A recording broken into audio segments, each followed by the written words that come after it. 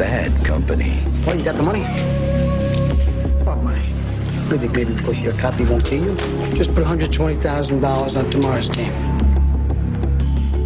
Bad habits. She's gonna kill you, man. You a drug counselor? Drug dealer. Bad intentions.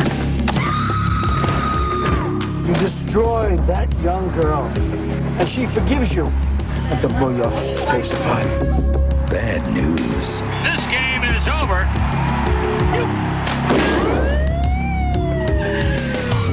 Bad lieutenant. Get back. Police activity. In a world where everyone has a scam, Mr. Regina, so be careful.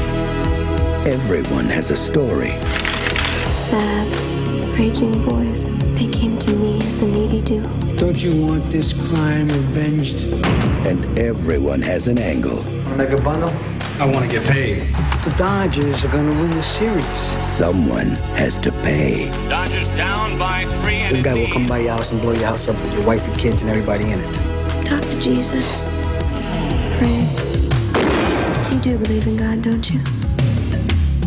The most uncompromising director in motion pictures today and the most fearless actor of his generation have created the most daring film of the year. I did so many bad things! Harvey Keitel is the bad lieutenant. I've been dodging bullets since I was 14. No one can kill me. I'm blessed. A film by Abel Ferrara.